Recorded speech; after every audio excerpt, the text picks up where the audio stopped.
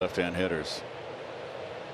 I don't think he has the confidence in it. That's it to deep right field. Acuna looks up and it's out of here. DJ Stewart with a two-run homer. And the Mets have put the hammer down against Allan Winans in the third. Second home run of the series. Second of the year.